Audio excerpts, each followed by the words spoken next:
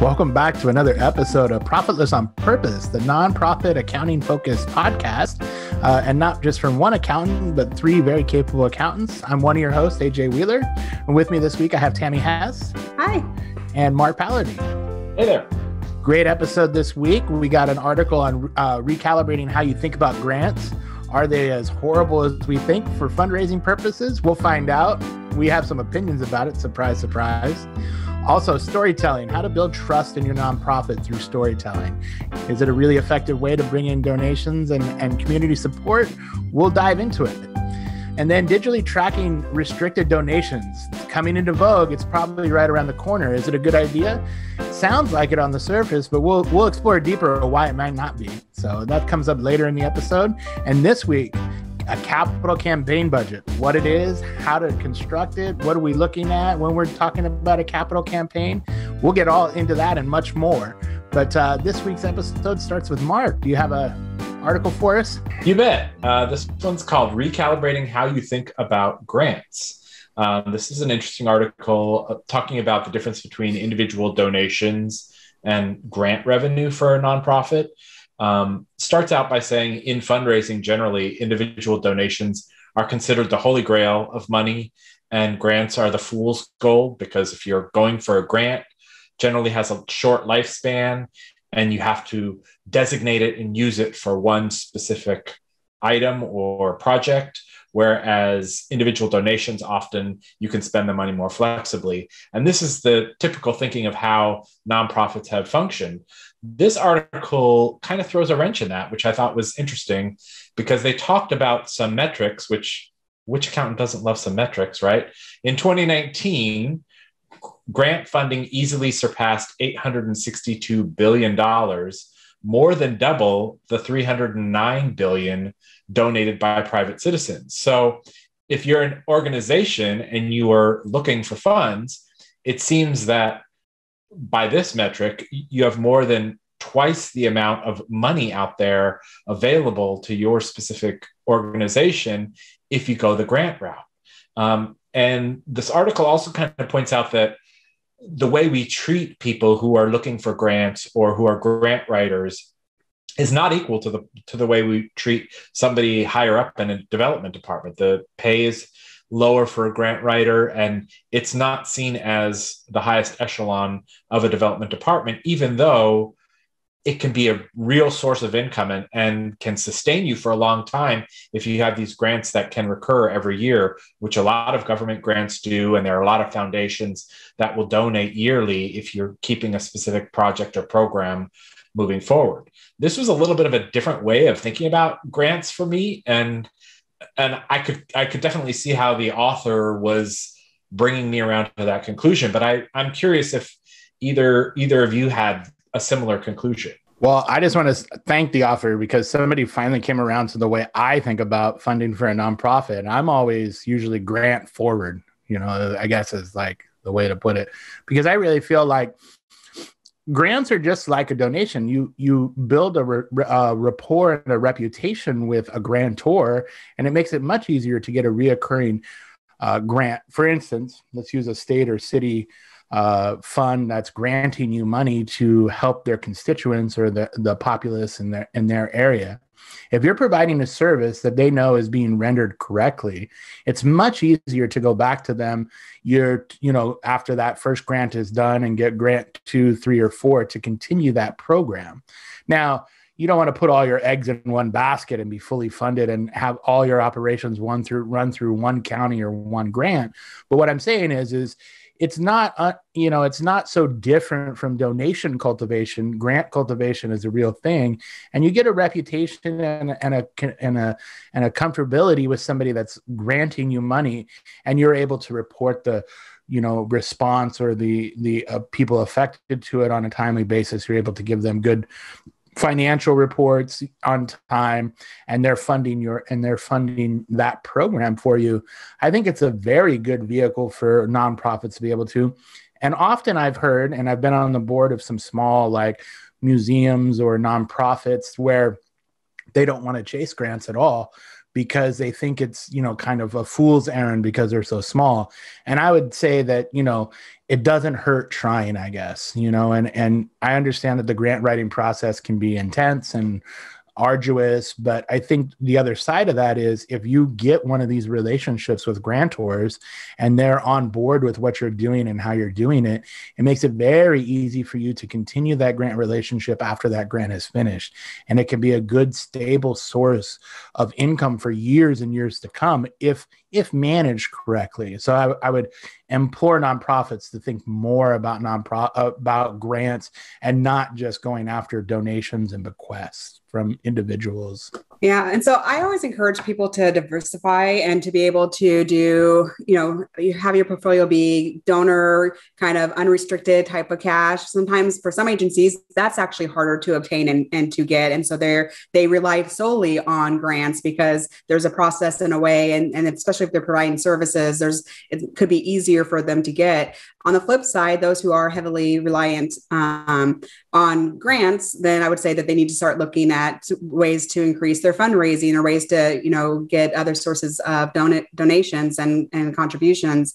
Um, but I would also say if you are a organization that only gets the those types of cash donations, that a grant could be a great way to supplement. So you are in a way diversifying your revenue source because at the end of the day, both sides can be difficult to manage and to obtain.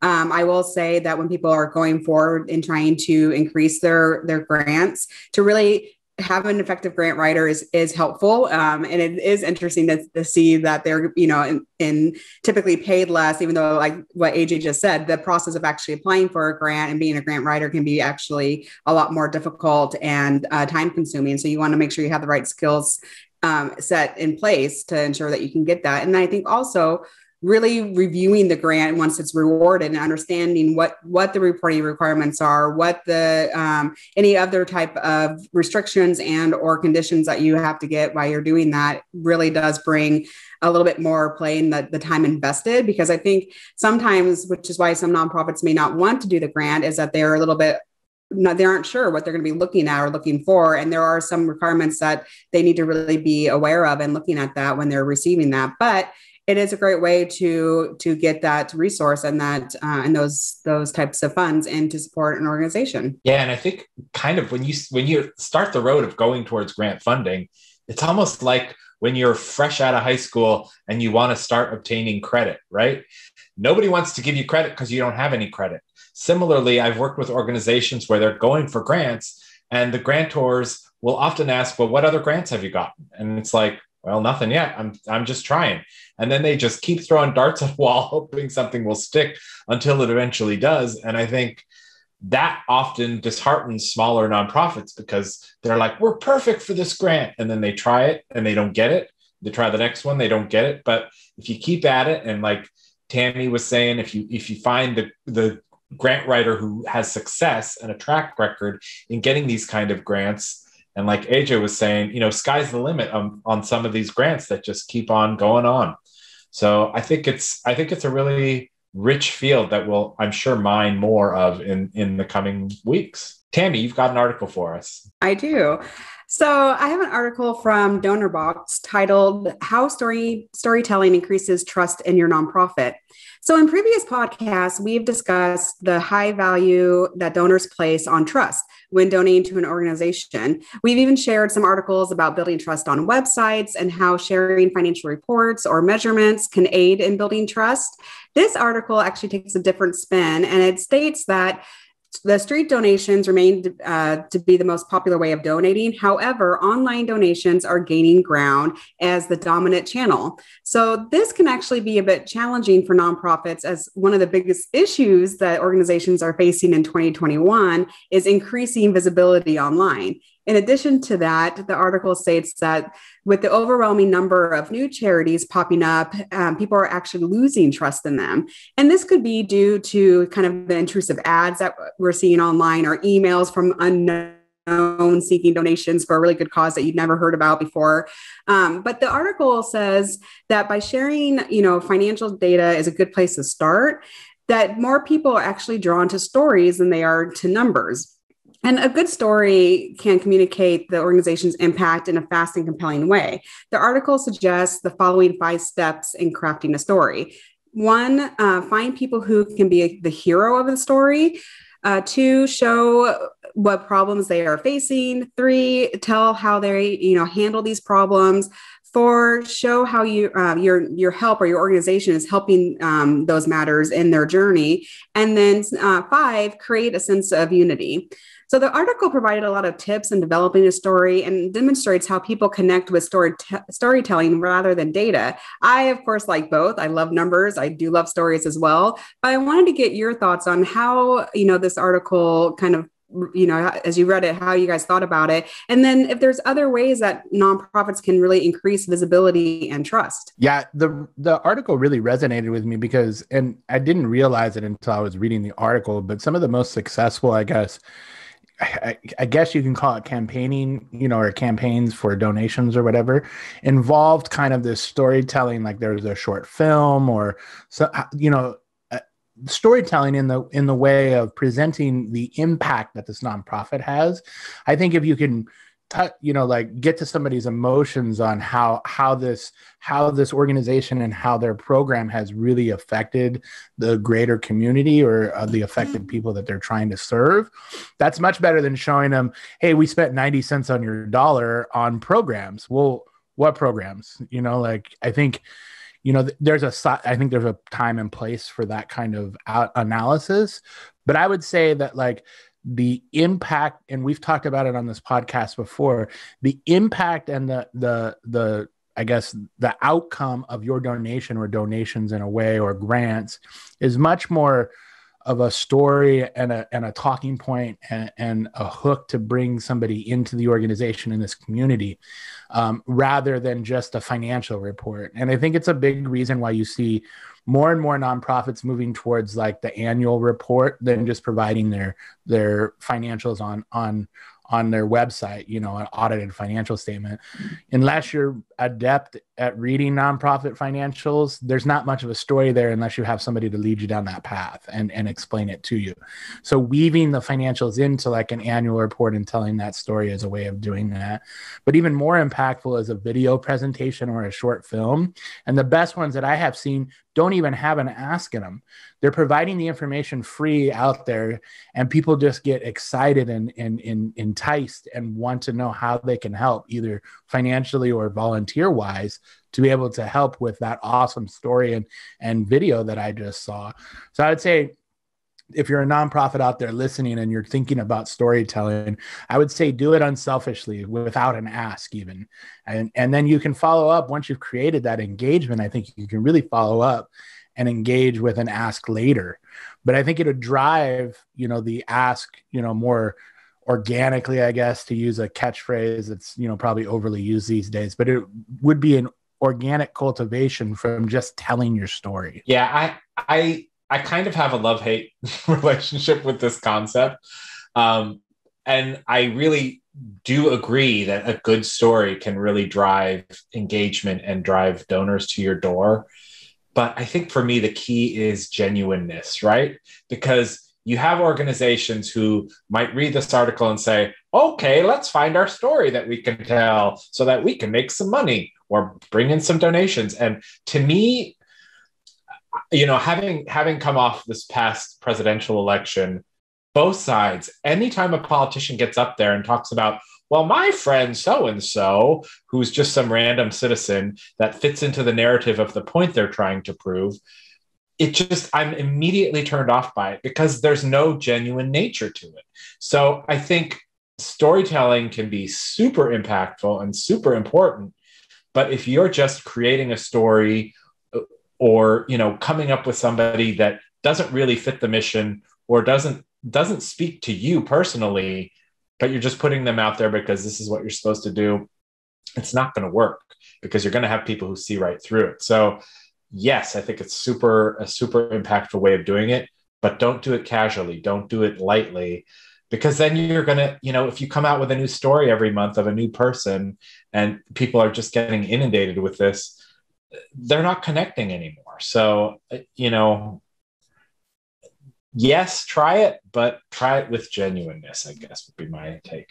And I think I would add to that too, Mark, because those are all good points. Is the other thing too is know your audience. And we've been saying this quite a bit in the last few podcasts, but really know who you're trying to attract and donate. Because I and to some story is all they want to hear and that's great and they want to hear you know 5000 stories and all this kind of stuff more is is better in that sense. But then there are also people who want a story with some you know data and some numbers or the ask within the story and there's some that just want the data and the numbers and there's all these kind of various different ways to go about it and the thing that in terms of crafting any message which is you know a podcast that we did not too long ago was understanding what you're trying to say and what you're trying to ask and who are you asking and who are you sharing this message with? Because that all plays into you know the the storytelling per se um, of what you're doing is to really understand what you're you know who you're talking to because some people are going to be turned off by a storytelling or some people might say oh i heard this before or this doesn't seem real and all that kind of stuff. Is that you really have to understand who your audience is and how they're going to interpret the storytelling or the data data presenting or any of those things. How they're going to interpret it is going to be key to any message that you want to share. Yeah and i would say one one quote from this article that really got under my skin humans did not evolve to understand mathematics and graphs. Mm-mm. Not buying it. Jay, you got another article for us? Trying to get over my anger over that last sentence, but yeah. Um, anyway. uh, my article is actually from the Giving Review, and it's called "Digital Dollars and Donor Demands." So the article it, it's pretty short read, but it's uh, from a gentleman that has a lot of experience in it. So the opening statement is: Imagine smart money. Imagine imagine programmable money. Georgetown University uh, professor Jim Angel said. Um, what he's talking about is when giving. There's there we're on the precipice of being able to track penny for penny when you donate a dollar and when digital funds are given um, if you earmark them for something to actually see where that money is spent. And i think you know as it as it comes out as it comes out of my mouth it sounds like a great idea but he's proposing the opposite. He's saying um, that not only would it uh, it you know not only would it be onerous to the tracking of that money especially if we're talking like if you get $50 in like bitcoin or something tracking how that's spent you know through it uh, let alone how a how a nonprofit would then turn bitcoin into some real cash that they could spend on a program uh, it also says that uh, implications of it would trample upon the trust that's built in a nonprofit. And you wouldn't be giving and trusting that this nonprofit that you have a relationship with is using the money correctly, but that you are then, you know, checking the receipts, so to say, of that nonprofit to ensure that that money was spent correctly. And so there's so many reporting mechanisms in a nonprofit. I think, you know, and and as a if you're a major donor and you want to see your, where your money's going, I think there's more avenues than tracking every penny digitally that you give to them. But this could be an inevitability and kind of something that we're moving towards. So I'd kind of like to get the panel's, you know, take on whether or not you think this is maybe just a pie in the sky idea or if this is on its way, and and whether or not you think it would be advantageous or detrimental to uh, donations that are made to a nonprofit. Yeah, I think I think I agree with his conclusion because the whole idea of tracking every penny does seem to bring into question as to whether you can trust the organization. And I know just like features on the iPhone, like you know, track my iPhone, where family members have real issues around they can see me wherever I'm at, whenever I go around town there's there's a push pull with that where some people are like, well, for safety purposes, it makes total sense, but for privacy purposes and trust purposes, it falls apart completely. So while there may be some numerical benefits to this, you know, it, it does feel like it's an invasion of the trust. And if you can't trust the organization enough to donate to them and then see the results without micromanaging how they're spending the money, it, then maybe they're not the organization for you. The other just side note I would point out, I, I encourage everybody to follow the link in the YouTube and read this article because this author has not met an alliteration he didn't like.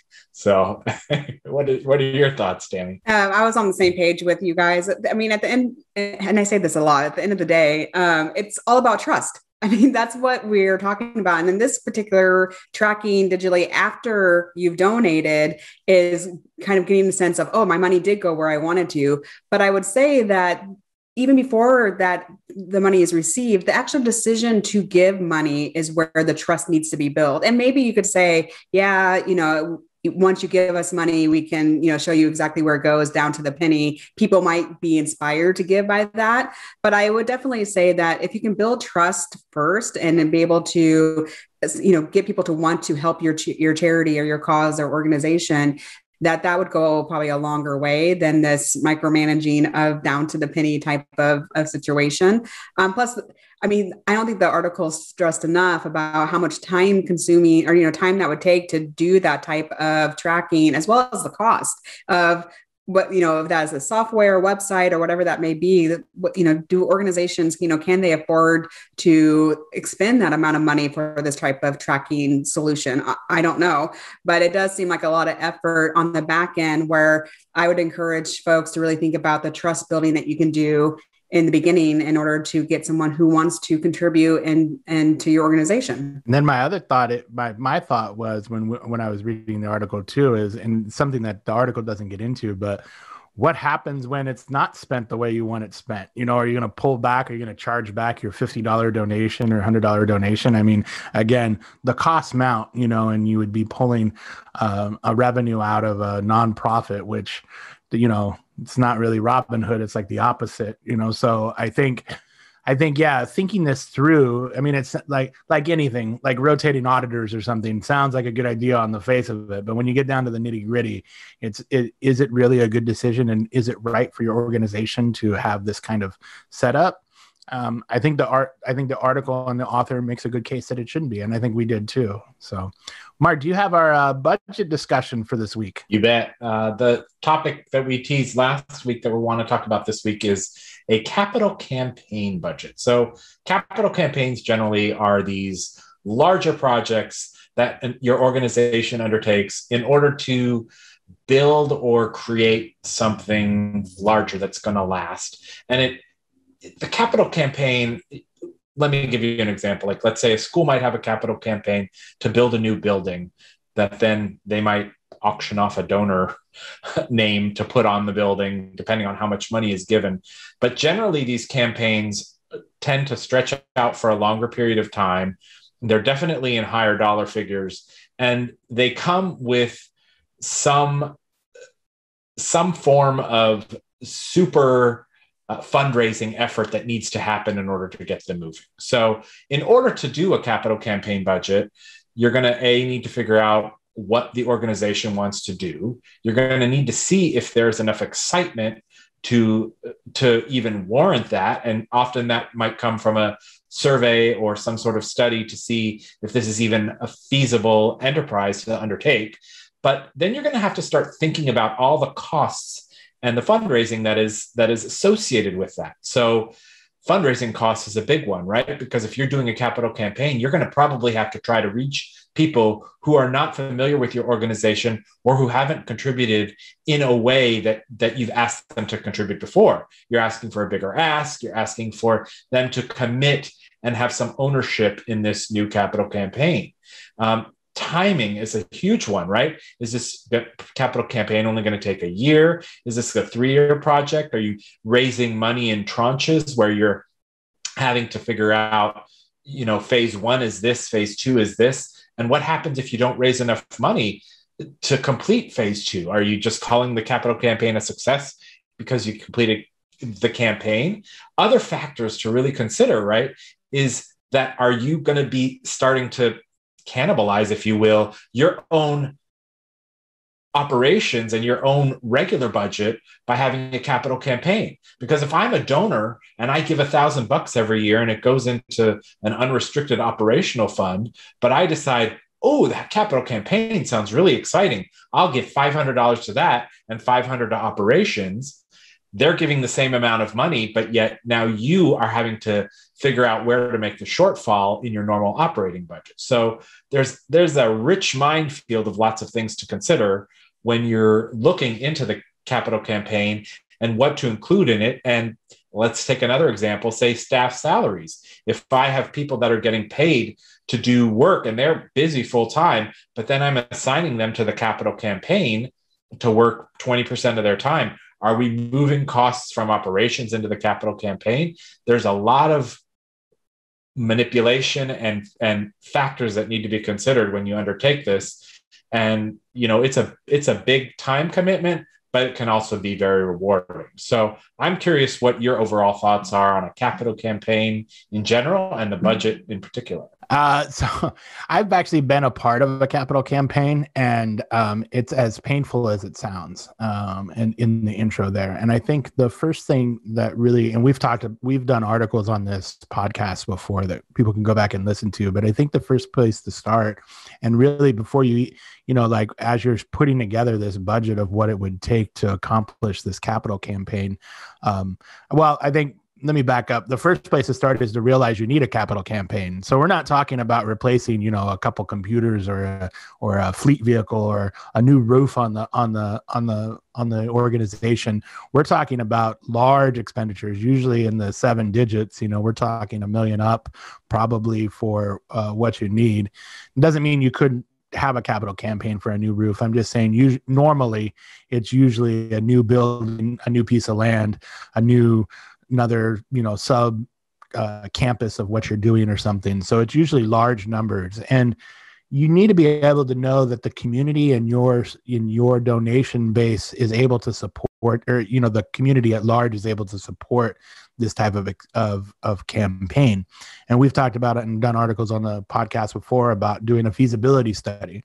So i would say that is a number one the place you need to start. And you would have to budget for that feasibility study. They're not cheap. You know, we're talking probably 10 grand, somewhere around or more, but that's a probably good, you know, finger in the wind starting point.